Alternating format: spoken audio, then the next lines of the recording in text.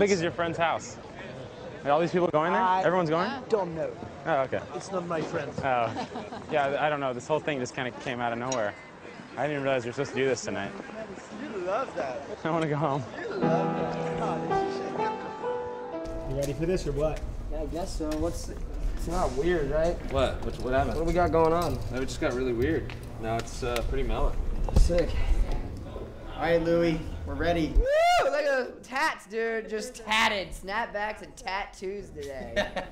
you see that smile? You just missed the fucking money shot. Just trying to get creative with the white screen. It's actually kind of difficult to be in there solo with uh, Louie Vito shouting at you while you have your shirt off.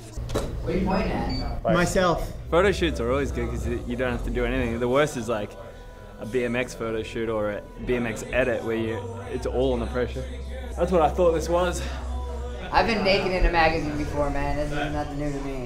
One. Thanks, dude. I'm a creative guy, you know. Three, two, one, two, one. We'll do a few more. I think we're good on this. Like, like five more. Oh my god, look at that prop. That looks Oh. fucking great. Put your leg down now.